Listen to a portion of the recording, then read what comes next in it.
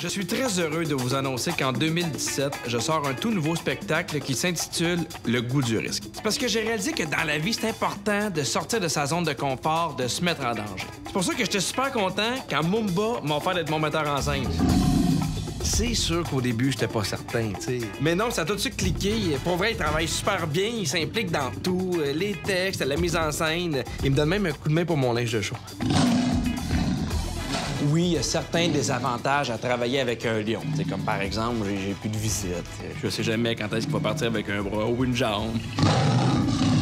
Mais il y a plein d'avantages, tu sais, comme l'autre fois. J'étais en spectacle, puis un gars en avant, il parlait, il parlait, il parlait. Ben, Mumba est allé le voir, puis le gars, il a arrêté de parler.